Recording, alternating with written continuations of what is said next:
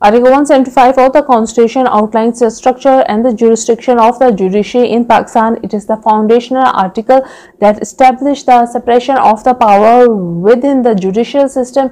Key points of Article 175 Establishment of Courts Article 175A states that there shall be Supreme Court of Pakistan, High Court for each provinces and such other courts may be established by the law. Separation uh, of judiciary from executive, this article mandates that there should be a separation between judiciary and executive, ensuring the judicial independence, preventing undue influence from the executive branch, jurisdiction and powers. The article provides a framework for jurisdiction and the powers of course which are further detailed in subsequent law articles and laws. Legal analysis, judicial independence. Article 175.3 is crucial for maintaining independence of the judiciary. This separation is intended to ensure that judges can make decisions on the basis of law and justice without interference from the executive branch, checks and balances by establishing a clear separation of powers. Article 175 helps to maintain a system of checks and balances within the government. This is essential for preventing the abuse of power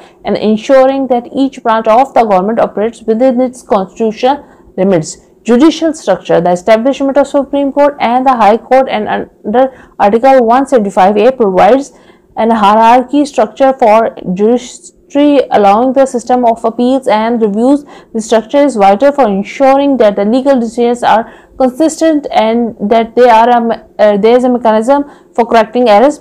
Practical implication case laws, the principles enshrined in Article 174 have been upheld in um, many landmark cases. For example, the Supreme Court has often invoked this article to assess its independence and strike down executive actions through judicial uh, functions judicial reforms over the years various judicial reforms has been implemented to strengthen the independence and the efficiency of the judiciary in the pipe in the line uh, of the articles of 165 these reforms are done for the betterment of justice and article 175 is the cornerstone for uh, constitutional framework in Pakistan ensuring the independence and the proper functioning of the judiciary. Its provisions are essential for upholding the rule of law and maintaining a balance of power within the government.